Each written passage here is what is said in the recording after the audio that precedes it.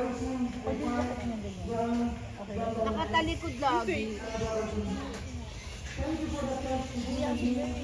Kasi hindi sila.